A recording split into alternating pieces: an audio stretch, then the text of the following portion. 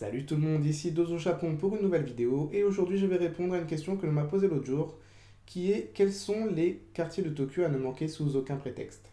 Alors évidemment c'est une question très large et très difficile à répondre qui va bien entendu dépendre des goûts de chacun et aussi de la période à laquelle vous vous rendez à Tokyo. Mais je vais vous indiquer les trois quartiers de Tokyo dans lesquels selon moi vous devriez vous rendre pour vraiment vivre l'ambiance de Tokyo. Alors on est parti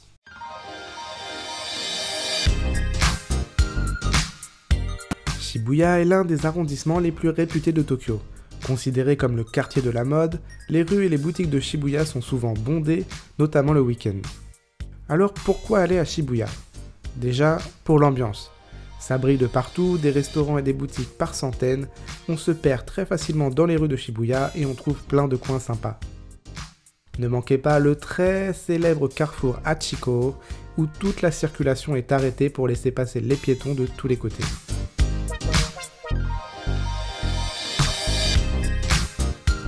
Surtout à Harajuku, dans le nord de Shibuya, pas loin du sanctuaire Meiji pour lequel j'ai fait une vidéo l'autre jour. Harajuku, c'est vraiment le quartier jeune et branché de Tokyo. Le week-end, vous trouverez pas mal de personnes en cosplay ou habillées avec les looks excentriques japonais que l'on connaît bien. La rue principale, la Takeshitadori, abrite plein de restaurants, de boutiques et c'est surtout l'occasion de goûter ces glaces et ces crêpes merveilleuses.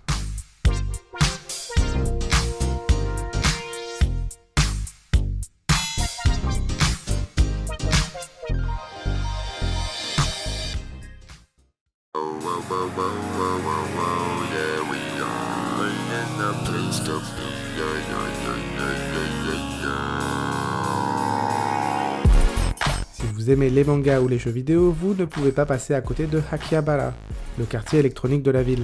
Je vous préviens d'avance, Akihabara c'est le quartier où l'argent part très vite.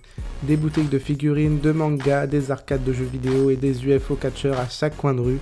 Tout est bon pour dépenser dans ce quartier et on y passe très facilement la journée voire la soirée.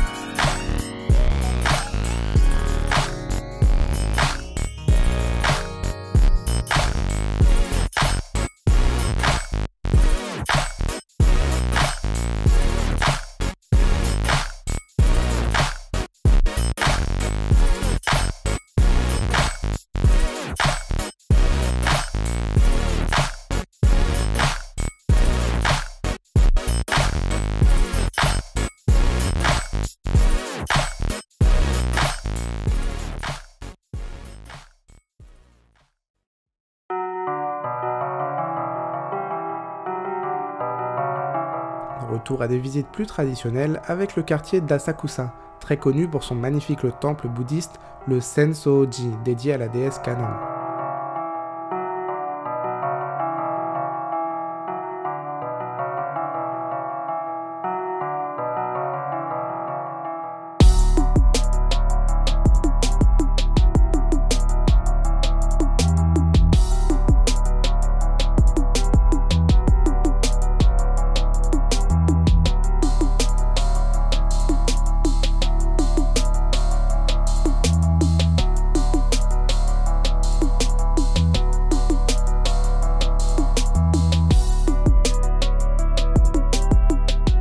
Du temple, ne manquez pas les nombreuses petites rues commerçantes.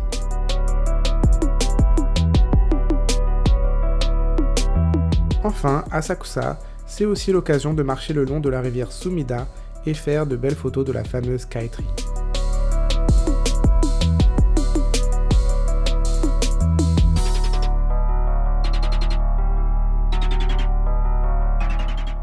Si vous avez plus de temps et si vous venez pendant la période des fleurs de cerisier ou celle des momiji, il y a plein d'autres choses à faire à Tokyo, notamment en termes de parcs et de jardins. Mais je pense que ces trois quartiers sont les plus intéressants pour se balader dans les rues de la capitale et permettent d'avoir une bonne vision de Tokyo, aussi bien moderne que traditionnelle. Voilà, cette vidéo est à présent terminée. Si elle vous a plu, n'hésitez pas à la partager, à mettre un pouce vers le haut et surtout à vous abonner à la chaîne si ce n'est pas déjà fait. Quant à moi, je vous dis à la prochaine pour une nouvelle vidéo. C'était Dozo Japon. À l'année